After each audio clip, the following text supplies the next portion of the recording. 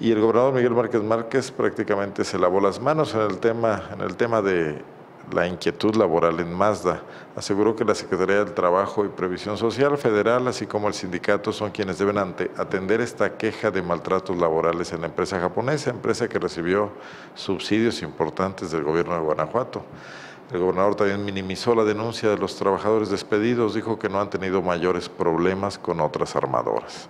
Y aunque aseguró que al abrirle las puertas a las empresas se les pide que mejoren sus prestaciones laborales, que haya buen trato y mejor salario, el tema va más allá, para eso están las instancias federales en, los, en donde es que se revisan los contratos colectivos.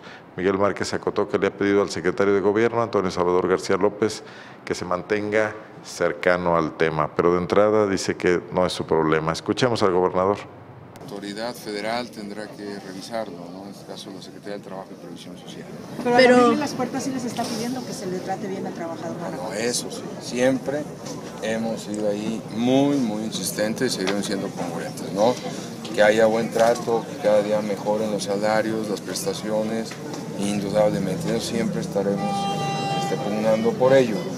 Pero ya si el tema va más allá, bueno, para eso está la Secretaría de Trabajo y Previsión Social. Acuérdense que hay un contrato colectivo que obedece ¿sí? a una regulación de carácter federal, en la cual ahí este, debe estar atento a pero el gobierno del estado sabe de las condiciones en las que están operando las armadoras, no solo Mazda. No, la verdad es que no hemos tenido mayores problemas.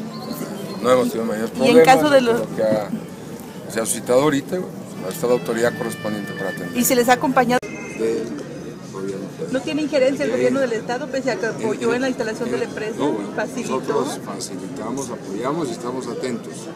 Pues ahí sí es eh, la, autoridad este, federal sí que esté atenta Pero ya... es lo que hemos pedido al secretario de gobierno, que esté. Pero el asunto ya está escalando de nivel, se estará anunciando para mañana, a partir de mañana ya movilizaciones en Salam, en Celaya y, y Guanajuato capital. Ya lo está, lo, lo tienen que atender autoridad. Gracias.